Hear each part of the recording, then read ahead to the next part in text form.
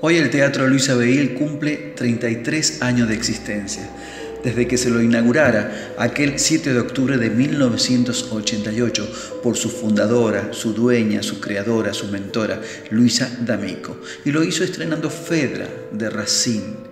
Y en la sala estaba Luisa Abeil, a quien admiraba y quería mucho. Y Luisa Abeil también la admiraba y la quería mucho. Por eso el teatro se llama Luisa Bale. Esas mujeres empoderadas que iban siempre adelante, que no le tenían miedo a nada y que lo que se proponían lo conseguían.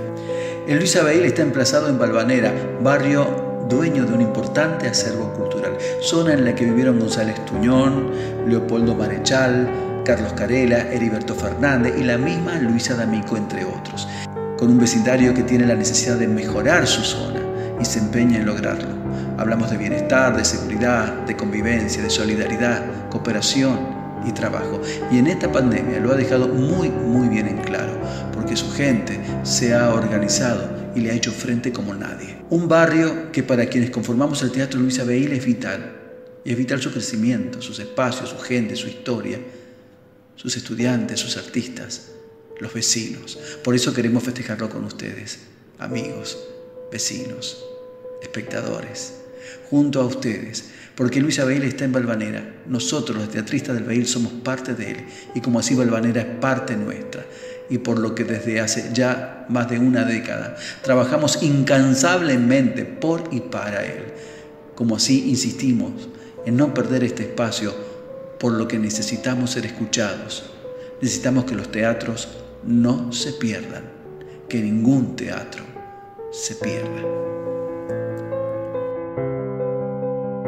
Porque el teatro cuenta la historia de quienes fueron, de quienes somos y de quienes seremos.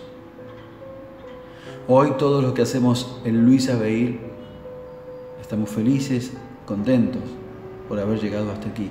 Y a pesar de esta pandemia, este momento duro que está pasando la humanidad, a pesar de todo eso tenemos la fe, la esperanza que muy pronto nos volveremos a reencontrar.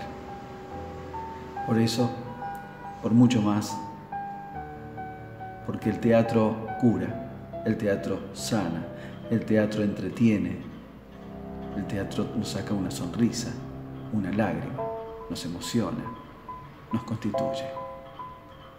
Por todo eso y por mucho más, feliz aniversario, Teatro Luis Abeil, feliz 33 años.